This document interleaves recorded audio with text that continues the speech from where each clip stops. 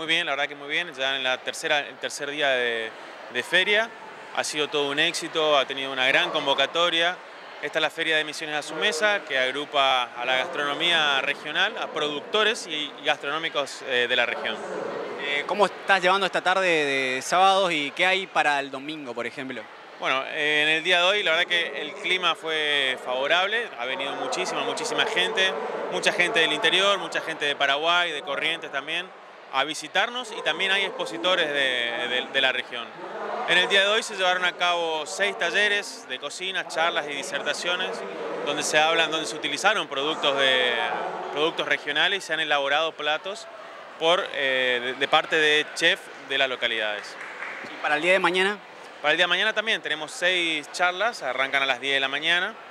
Lo mismo, chef de distintas localidades de la provincia y de la región que elaboran platos con productos misioneros, incluso algunos platos con, este, son eh, utilizados insumos de los productores misioneros. Eh, ¿Cómo es esta dinámica de, la, de esta clase, digamos, de, cómo se preparan estos productos, eh, los alimentos y la utilización de estos productos? ¿Cómo recibe la gente y qué dinámica hay?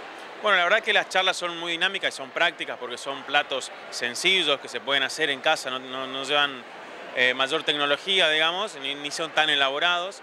Entonces la gente se engancha, hace consultas, también hacemos sorteo, le hacemos participar a la gente, entonces se lleva una actividad muy dinámica y la verdad que muy activa. ¿Se pueden probar los productos y los platos? Así es, hacemos degustaciones y eso es lo que más atrae a la gente, probar. Este es el pabellón, lo decimos de una manera, esta es la vedette de la feria forestal porque en este, en este pabellón la gente puede degustar, puede probar, puede llevar algo a su casa algún producto, algún recuerdo y sobre todo algún sabor. en relación a, la calidad, ¿has probado algo? Eh, ¿Has degustado algo? ¿Qué, apreciación podías hacer? Sí, la verdad que sí, hemos probado. Eh, la, ventaja de estar acá en la cocina es que estamos, tenemos la posibilidad de probar absolutamente todos los platos que salen. Este, probamos de pescados, este, carnes de cerdo, eh, pollo con salsas de frutos autóctonos de la provincia. Así que bueno, la verdad que fue genial para cerrar, una reflexión de qué, te parece esta iniciativa y cómo, cómo van a seguir trabajando de acá para adelante. Bueno, esta es una feria que ha venido creciendo a lo largo de los años, es relativamente joven, pero que ha crecido este, rápido de todas maneras. Cada vez hay más productores, cada vez tenemos más cocineros y chefs que quieren participar de, las disertaciones, las clases de cocina. Cada vez tenemos más y mejores expositores. Este, donde nosotros podemos exaltar los productos, el valor agregado que sale de nuestra provincia. En el primer plato hicimos una interpretación sobre recolección de frutas nativas, hicimos una ensalada de fruta.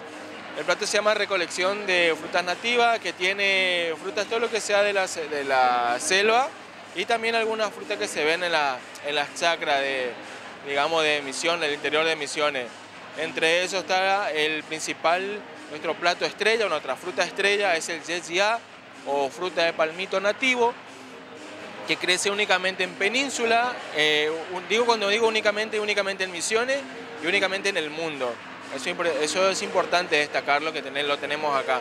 Eh, aclaramos que cocinás exclusivamente con estos frutos que son eh, nativos de, de Misiones, ¿no? Sí, exactamente. Mi trabajo consiste buscar eh, frutas nativas, alimentos nativos de lo que ellos y cocinarlo y llevarlo a un nivel más alto, digamos, mostrar lo que se puede hacer. Eh, después ah, me habías contado que habías cocinado otro plato, una gallina. Sí, la gallina a la chacra se llamó para darle un poquito más de, dinámica y un poquito más artístico y jugar un poquito más con broma a la gente.